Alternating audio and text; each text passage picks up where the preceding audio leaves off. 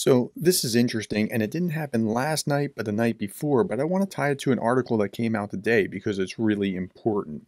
Okay, so explosions and fire engulf Russian ammo depot in occupied Ukrainian village. And so uh, we see the occupied Ukrainian village of Sidove in Donetsk Oblast. A sizable Russian ammunition depot is on fire. Apparently, there are helicopters and munitions and all kinds of other things there.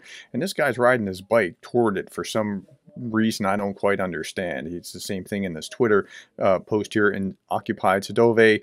Donetsk Oblast, a large Russian ammunition depot is ablaze, causing explosions, according to Petro, I can't pronounce his name, an advisor to the mayor of occupied Mariupol.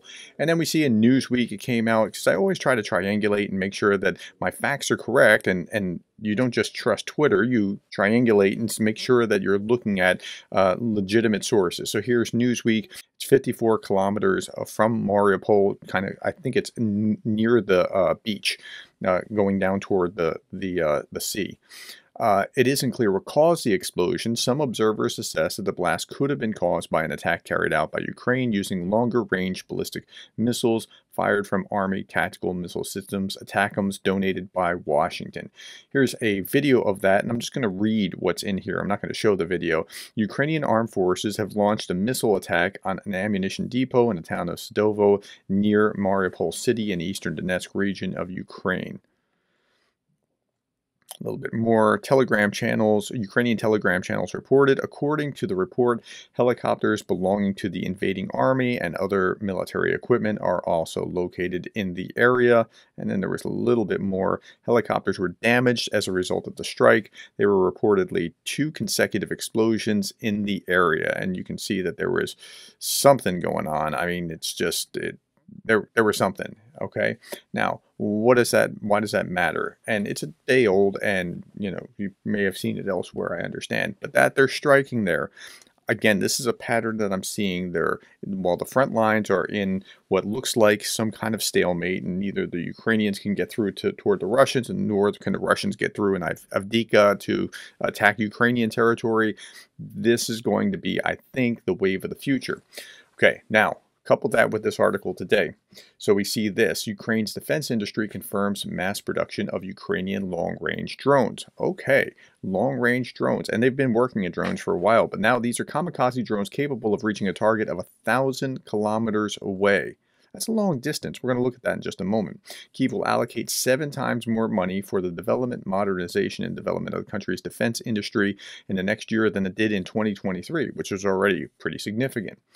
All right, now, Zelensky has promised uh, the Ukraine is changing its tactics and will strike Russia unexpectedly to prevent a stalemate. So here's, let's look at the deep state map and try to understand this.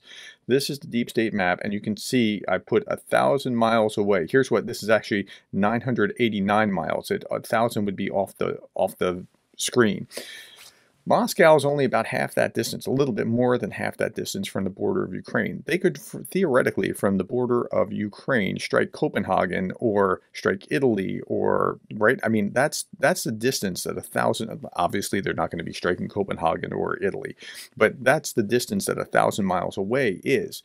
Or th- I'm sorry, thousand kilometers away. Okay, so um, now here's how, how I read this. I look at this and I think, okay, well, you know, you have all these targets that you want to strike down here, but they're covered by air defense.